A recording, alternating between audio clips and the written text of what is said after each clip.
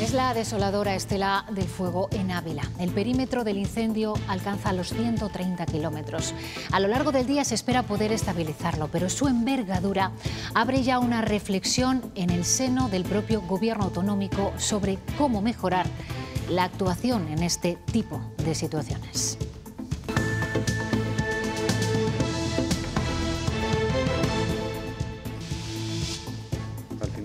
Medioambientales, mis compañeros técnicos que están aquí en el puesto de mando avanzado, intentamos estar animados y mantener la actividad para poder llegar a controlar esto cuanto antes. Si se levanta viento, eh, al ser un combustible ligero, avanza muy rápido y eso que puede provocar pues que nos atrape porque nos pueda desbordar.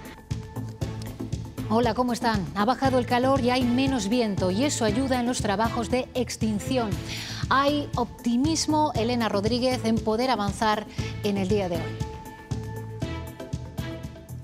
porque el objetivo es que cuando finalice la jornada de hoy se pueda dar este incendio por controlado, un fuego que sigue en nivel 2 desde el pasado sábado y es por ello que los medios siguen trabajando de manera intensa. El millar de efectivos lucha contra unas llamas también en labores de refresco, incluidos en ellos los 30 efectivos aéreos.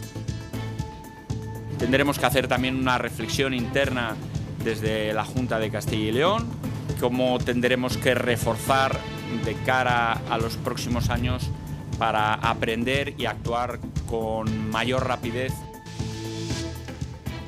Y la Junta anuncia una respuesta inmediata para que los ganaderos puedan dar agua y comida a sus animales. Es lo más acuciante encontrar al ganado una vez que el riesgo ha pasado en el monte y evitar que muera de hambre.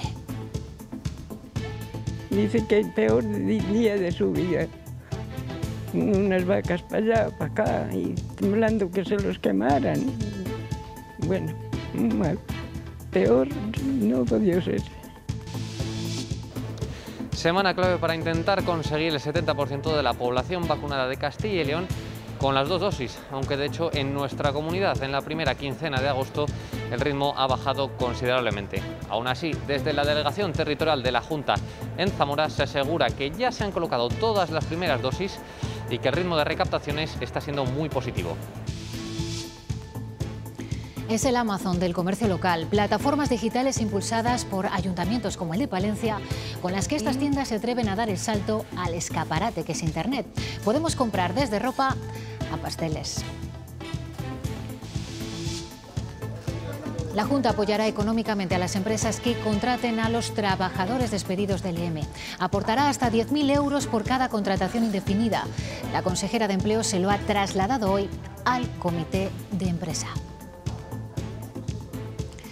Desde Afganistán siguen llegando imágenes sobrecogedoras. 640 personas, hombres, mujeres, niños, hacinados todos en la bodega de un avión, jugándose la vida para escapar del país y ya está en Dubái el primero de los aviones españoles que traerá de vuelta a España al personal de la embajada. La comunidad internacional pide que se respete la evacuación de civiles afganos.